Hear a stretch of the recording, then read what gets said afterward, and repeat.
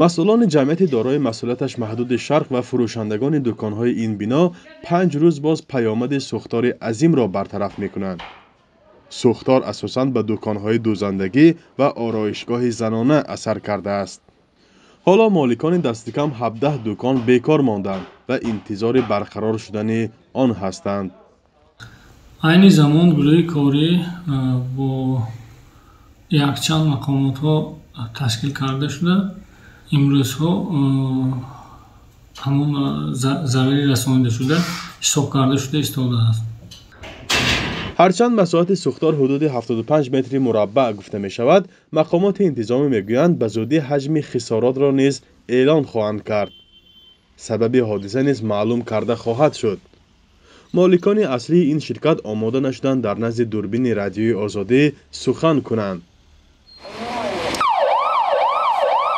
از اداره سختارنشانی گفتند که به جای حادثه ده ماشین آبپاش سختارنشانی از شهر خوجند و ناحیه های اطراف آورده شده به مقدار تقریبا 150 میلیون سامانی امارت و انشاد از کام آتش نجات داده شده است. گیلو اطرافی خودی بزرگ شب یعنی که در آنجا جدیمه بزرگ پنجشنبه در پهلویش مرکز سودای بدری مونید انقدرش و خودی مهمانخانه در آنجا جایگیر شده است و باقی مونده تقریبا 160 دکانهایی که در پهلوی آن جایگیر شده بود. خودی در داخل همون بینا از سختور امین نگاه داشته شده.